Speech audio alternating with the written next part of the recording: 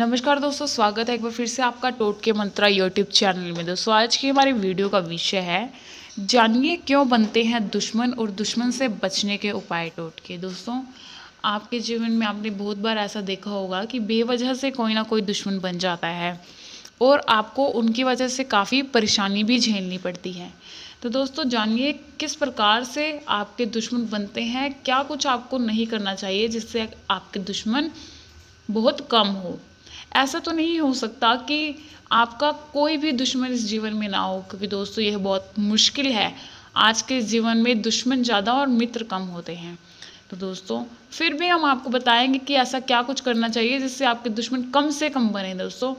अगर आपकी किसी के साथ लड़ाई होती है तो आप उसके साथ ज़्यादा बहस या हाथापाई करके अपना समय व्यर्थ ना कीजिए और आपको उनसे काफ़ी हद तक बचना होगा, जिनसे कि वो भी आपको भूल जाए और आप भी दोस्तों, अगर आपके घर में कोई प्रॉपर्टी का झगड़ा है तो आप उसको बैठकर सुलझा सकते हैं, बजाय इसके कि आप हाथापाई करके बाहर गलियों पर लड़ने लग जाएँ।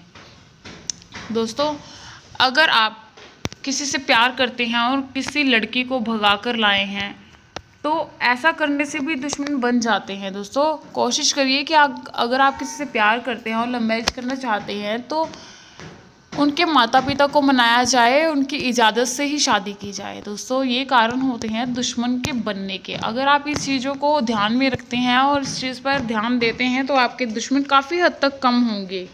आपके व्यापार में भी अगर आप बहुत ज़्यादा तरक्की कर रहे होते हैं तो दुश्मन आपके साथ वाले आपसे जलने लगते हैं और दुश्मन बन जाते हैं। तो दोस्तों, अगर आप इन चीज़ों से हैं परेशान और बचना चाहते हैं अपने दुश्मनों से तो हम बताएँगे आपको क्या करना है।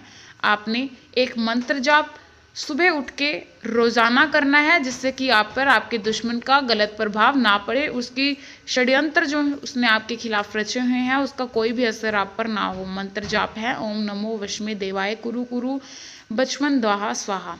तो दोस्तों, इस प्रकार से आप अपने आप को सेफ़ रख पाएँगे, अपने दुश्मनों से। बहुत से लोगों ने इस मंत्रा को जाप करके अपने दुश्मन से छुटकारा पाया है।